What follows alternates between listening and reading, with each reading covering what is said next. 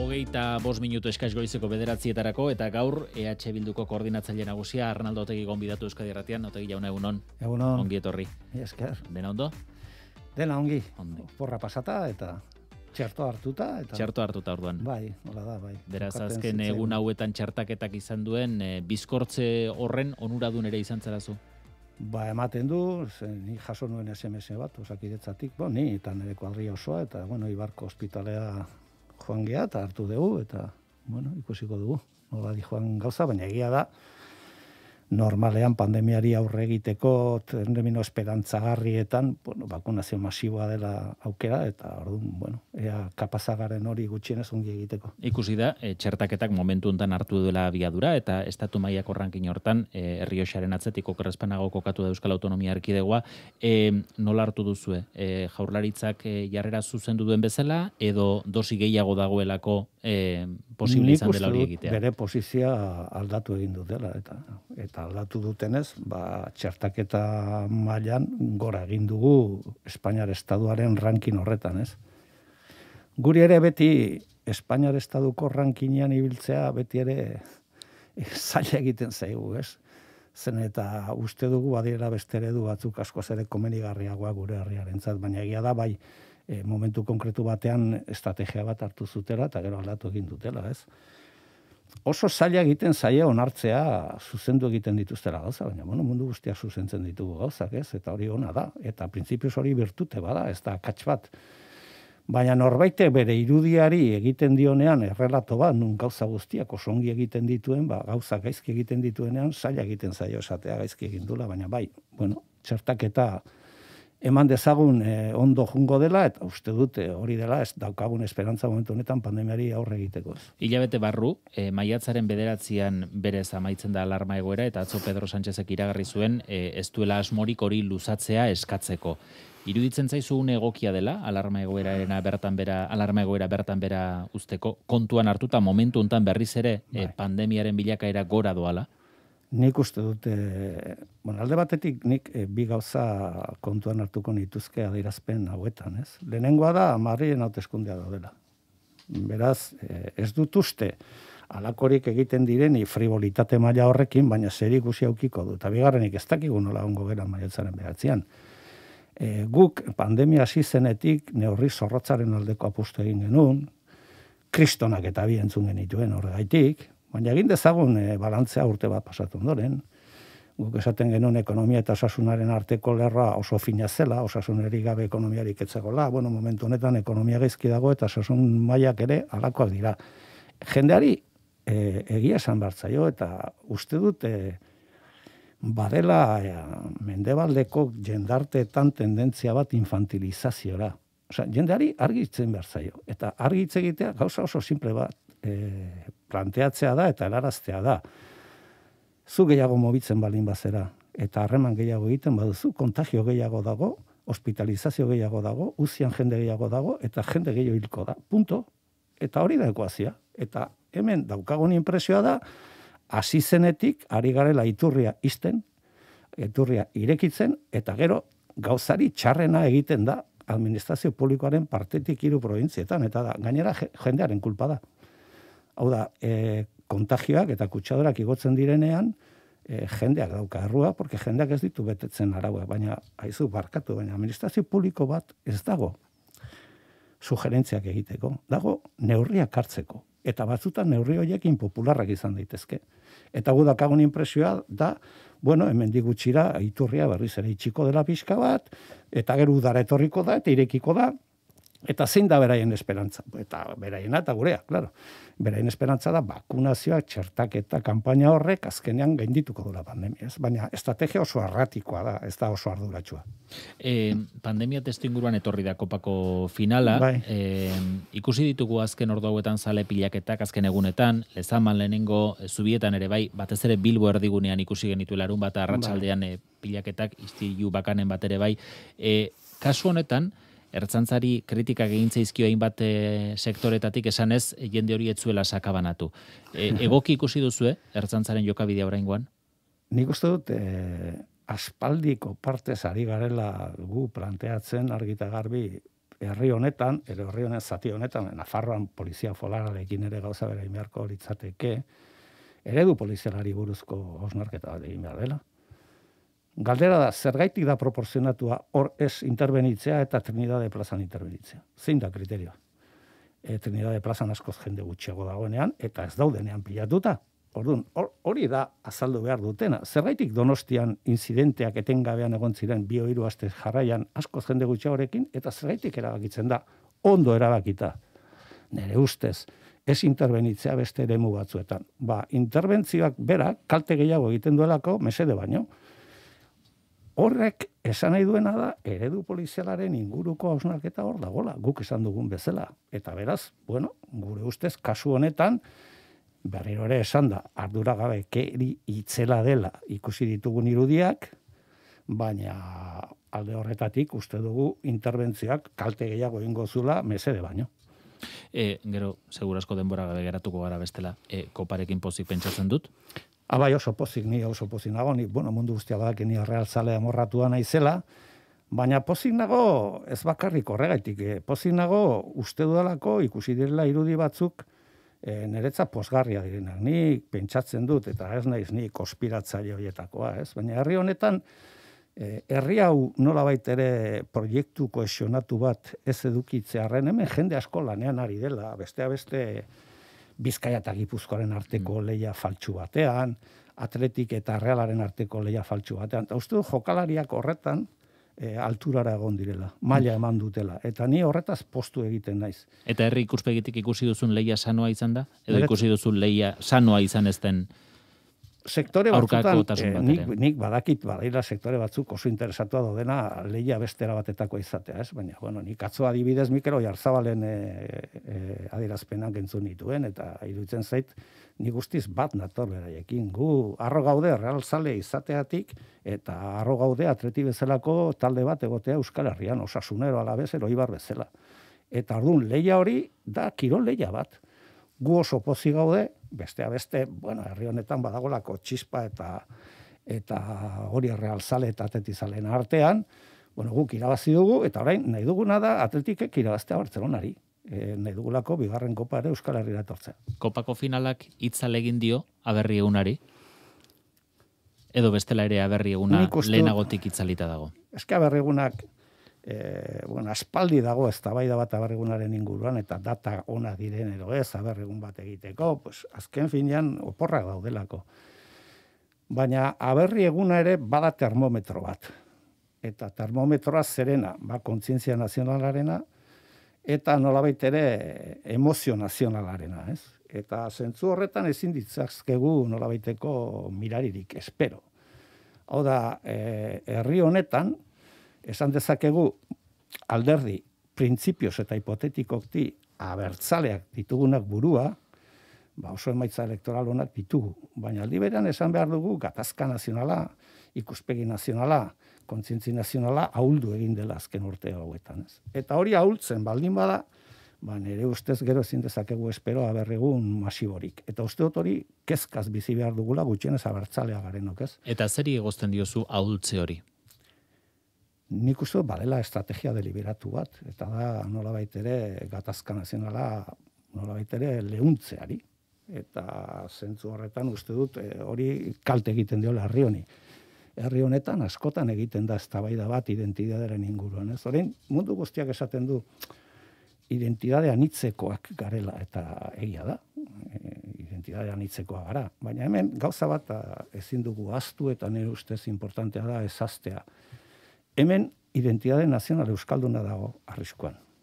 Desagertzekotan kurea dago desagertzekotan. Eta uste dut hortik ez bagera abiatzen, ba segurazki azterketa guztiak okarrak egingo ditugula. Beraz, behar dugu berriz ere gure herria sorbaldan jarri eta gure herriaren etorkizunari buruz hitz egin eta guk aberri aske bat nahi dugu, aberri independiente bat, aberri buru jabe bat, bestea beste, beste motatako alternativa sozialak eraikitzeko, ez? Hori da gure xedea.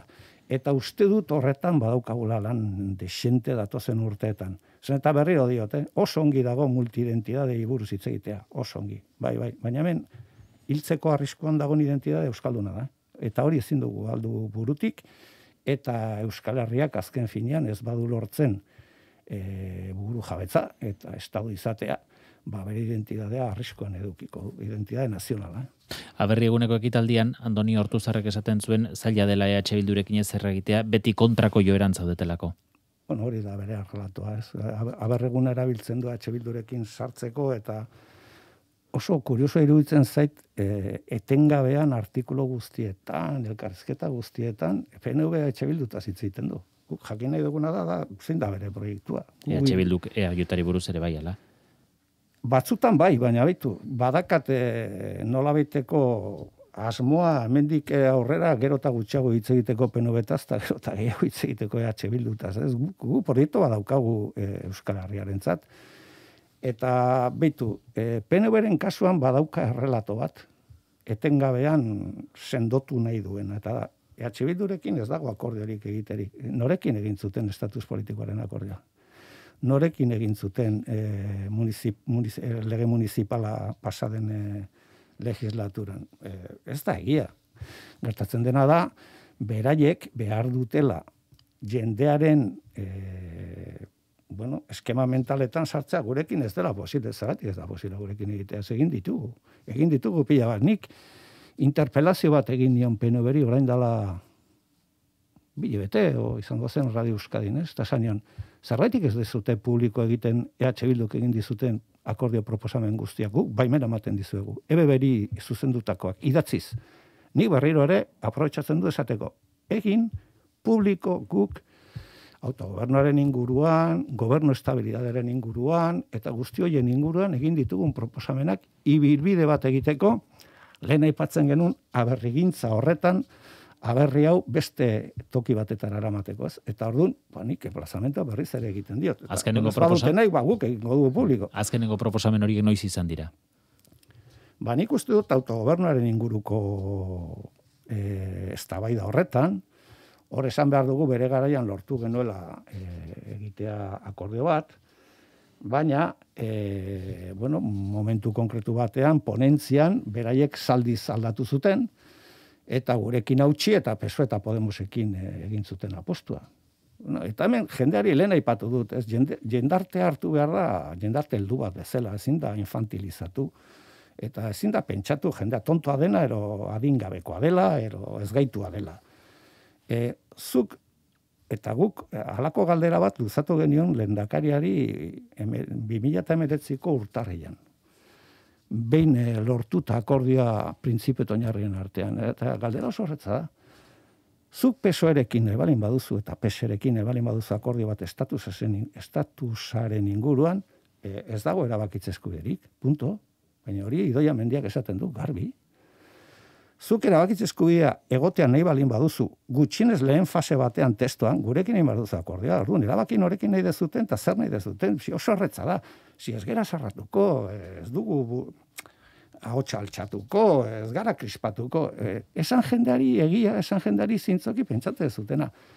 E, pentsatzen dezute posible dela Estadu Espainolarekin lortzea testu bat nun erabakitze eskubidea onartzen den, ez. Eta hori dagoera, Orduan, errenunziatu egiten dezute horretara eta horretarako bilatzen dezute pesoeren laguntza eta Podemosena agian. Pues ongi, baina esplikatu. Guk testo artikulatu oso bat aurkeztu dugu eta hor dago depositatua. Nahi dutenean hitz egiten dugu horretaz. Eta Abia puntua zure ustez izan behar luke edo zuen ustez e, testu artikulatu hori edo e, legebiltzarreko lantaldean beste adituek egin dutena ere izan daiteke. Pero adituena trampa bat izan da. Trampa izugarri bat. Hau da, egin nahi izan dena da, bigarren eztabaida politiko bat, e, adituen bitartez. Eta hori ez da zilegia. Adituek mandato bat zeukaten. Eta mandato oso garbia zen. Den, zu baditu zu hemen, oinarri eta printzipio batzuk. PNVek eta bilduk sinatutakoak. Honen oinarripean testu artikulatu bat egin behar duzu. Zein dute oinarria galatu? Eta testu bat egin oinarri eta printzipekin bat ez datorren. Hori mm. trampa egitea da. Eta guk horren ordez egin duguna da, bueno, ongi, guk egingo dugu testo bat guretzat oinarri eta printzipioetan e, oinarrituta dagoena eta depositatuta dagoena hor. Orduan, Ez dugu esaten hori izan behar dela. Esaten duguna da, bueno, badugu testo bat eta guazen ez da ez. E, udazken alderako esaten zuen hortu zarrek legebiltzarrean espero duela autogobernu lantaldearen lanak berriz ere astea, atzo itxaso atutxak mikrofon hauetan e, esan zuen baietz, baina jarrerak nola dauden ikusita oso baikor ere e, ez dela agerian utzi zuen. Gauza daudenean, asko susmo hartuta dago, estatus berriarena adostasun helburu baino ezote den e, alderdien arteko eta bereziki alderdi abertzalen arteko konfrontazio tresna. Ba, nik uste hori akatzlarria dela. Porque pandemiarekin ikusi dugu, e, zemotatako zeltasunak ditugu Euskaldun bezala eta nazio bezala, ez? Azkenean, e, hemen askotan hitz egiten da eta diskurso politikoetan e, esaten da autogobernu maila gorenean bizi garela eta bar, ezin ditugu esan ez da jendea etxea ze ordutan jun behar den. Orduan, galdera da. Norain utzi nahi dugu gure bizitzaren zati handi bat termino politikoetan, kulturaletan, hizkuntzaren ikuspegitik, hezkuntzaren ikuspegitik, industria ikuspegitik, politika hori, marien esku. Hori da ez da Eta guk horren aldiz esaten duguna da, alik eta buru jabetza gehien, alik eta segurazki herri hau hobeto egongo da, termino guztietan.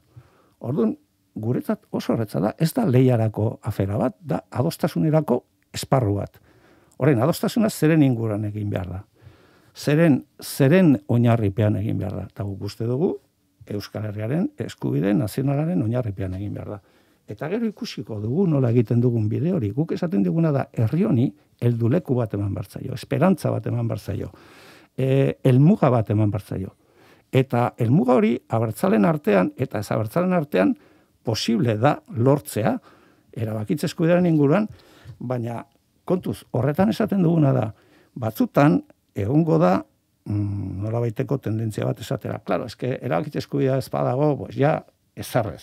Ez ez, baina ez dago erabakitze eskubidea. Pesoerekin ez dago erabakitze eskubiderik. Ez dago seguridade sozialik. E, ez dago selekzio nazionalik. Ez dago berma sistemarik. O sea, ez da afera bat bakarrik erabakitze eskubidearena. Da, nun dago urratsa estatu Baina EH Bildu ere pesoeren gobernua sostengatzen ari da.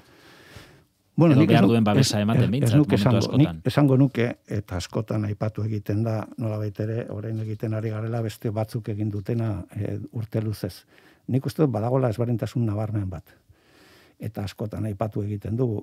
Egun Espainiar Estaduan dagoen gobernua, bigarren errepublikatik, ona, da lehen aldiz koalizio gobernu bat. Eta lehen aldiz badago, pesoeren eskerrera dagoen alderri bat, printzipioz eta teoriz gutxinez Pablo Iglesiasek autodeterminazio eskubidea defendatzen duena eta plurinazionalitatea defendatzen duena. Hori da ezberdintasuna. Gu gobernu horri aukera bat ireki diogu. Bestea beste uste dugulako gobernu horrek badituela aukera gehiago fatxak ero eskubi muturrak, eskuin muturrak osatutako gobernu bat baino gehiago. Baina gauza bat esan diogu, zuek frogatu behar dezute, gauzak bestera batetara egin daitezkela. Alo sozialean, alo nazionalean eta politika penitentziarean. Iglesias irten da gero, gobernuarekin harremanak berdintxo jarraituko du? Bai, nik uste dut, eh, berak eh, oraindik orain pixu oso handia duela, eta nik uste dut harreman oso daukagu berarekin, eta hori horrela jarraituko du. Bai azken orduotan salatu duzu sare sozialetan hainbat kontu blokeatu dizkizutela bai. Facebooken eta Instagramen. Esan dizute zergaitik eta esan dizute behin behinekoa izango te den ala ez? Esan diateo eta labordutakoa dela eta da Julen Madariagaren inguruan egindako txio bategatik, ez da bakarrik nik egindako txio bat, jende askok egin du, baina bueno, onda alako salaketa bat, suposatzen du e, Espainiar eskubiaren partetik eta erabaki hori hartu dute. E, bueno, pixkat harritu naiz, zen eta txiban egia besterik ez nuen esaten, eta ez dut uste alako neurririk hartzeko aukera ematen zuela, baina bueno, egin dute, ez? Eta gure gure aurka batzutan gauzak arretze egiten dituzte, sareak fascistas beterik daudenean, eriotz mehatxuak egiten dituztenean, eta bar, galako gauzak ez ditu ikusten, baina bo, e, oituta gaude alako gauzetara. E, etaren indarkerian, etak sortutako minaren inguruan oraindik indar politiko asko dira, EH Bilduri eskatzen diotenak, posizionamentu argiago bat, min horren izaera injustuaren inguruan. Hor badago, e, bizikidetza sendotzeko bide hortan korapilo bat, e, gai horrekin, korapilori nola aska daiteke? E, beste indarrek daukate jarrera aldatu beharra, EH Bilduk ikusten du beste ezer egin dezakenik edo egin behar duenik? Bitu ni gauza bat esango nizuk, ez? Ni gauza harrigarriak entzuten ditu gauza honen inguruan, ez? Eta da, guk askotan aipatu izan dugu, ez? Elkar bizitza e, sustatzeko eta sendotzeko, lehenengo jarrera erikitzaile bat euki behar da.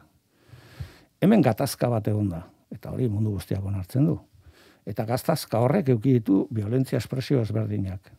E, esango digute munduan zehar ze esperientzian egonda galako gatazka baten gainditzea alako terminoetan.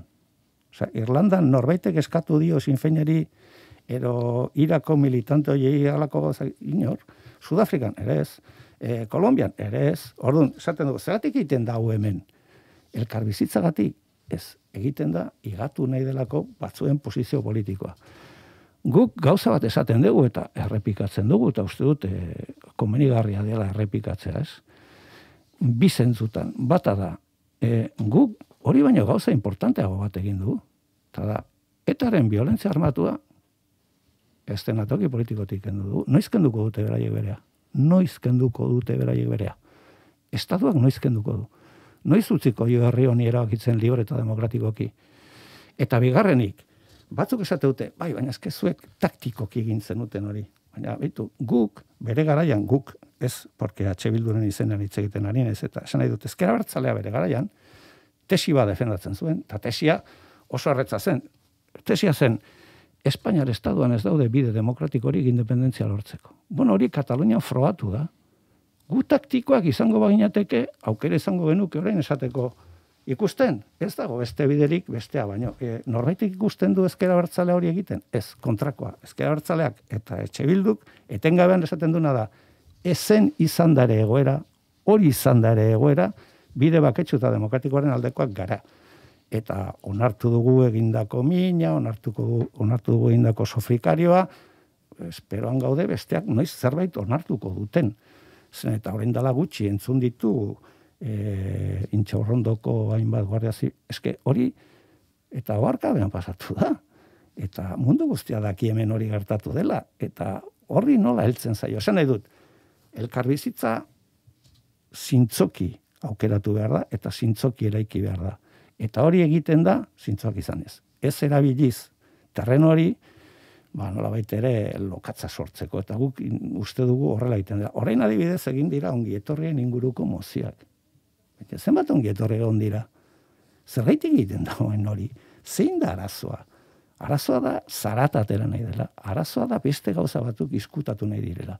Eta horretarako, ba, kalamarrak egiten duten bezala tinta ateratzen da. Ez? E, bueno, ongi etorri buruz hitz egiten dugu mitartean, ez du hitz osakidetzan dagoen prekarietatia, ez dugu itzengo zaldibarren gertatutakoa, ez dugu itzengo metroari buruz, ez dugu itzengo handiko trenari buruz, ez dugu itzengo txartoba e, kampainari buruz, pues, eta hori da trukoa, ez da besterik. Baina EH Bilduk ongi etorri hoien mozioaren arira. E, ulertzen du e, ekitaldi horietako batzuk izan daitezkela mingarriak bitimentzat? Uratzen, gu sekolaz dugu eztabaidatu biktimekin, e, etako biktimekin e, termino publikoetan. Eta onartu dezakegu norbaiti mine egiten diola. Baina ez dugu osongi konprenitzen zergaitik. Hau da, gure paradoja da, gure poza beraien sofrikario da. Gure poza beraien sofrikario da. Gu posten gera herrikide bat ateratzen denean kartzelatik. Hogeta urte egiten duenean e, bere kondena kumplitu duenean, eta kumplitu ilegalki gainera, aspaldi kalean egon behartzenean.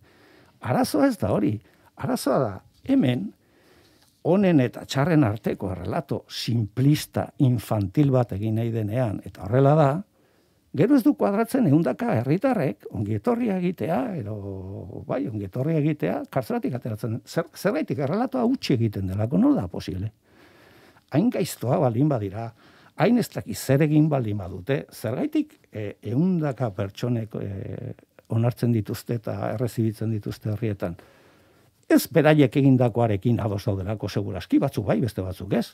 Baizik eta ulertzen dutelako pertsona horrek ekibukatuki ero zuzenki bere biziaren zati bat eman duela herri honentzat. Eta kartzelan pasatu dituela urte pila bat ilegalki eta gainera dispersatu egon delako. Zalun, nik askotan pentsatzen duten paradoja hori da, ez? Nik orain dala gutxi algoibarko azken presoa atera zen, irurogeta malau urtekin, iktus batekin, eta barregin, eta ni boztu egin nintzen, eta nire posta, posta zen da, norbaiten sofrikarioa. Ba, nik ez dut horrela ikusten. EH Bildu bigarren kongresu azken txampara bideratzen ari da, osoko zuzenketarik ez, berrunda berrogei zuzenketatik gora bai. egin dituzte ozein kasutan afiliatuek, eta orain e, bilkideak izena eman da, kongresua mm, ba, zuzendaritza aukeratzea bai. e, tokatuko da. E, beste agintaldi baterako indarrez? Bai, nik uste dut, e, bai, nik beti, beti esaten dut, e, bueno, ni ongo naizela hor, ba, kideak ne duten bitartean, ez? Baina, bueno, egia da ere, bueno, denbora pasatzen dela, ez? Eta ni nire bizitza militantean beti ukidut garbi militanteak erakitzen dutela bakoitzan nun dagoen, ez? Baina egia da, e, orengo, orengo epealdi hau hasiko naizela, eta bukatuko dudala, eta uste dut, e, oraindik orain badudala zerbait e, ekarpen egiteko, ez?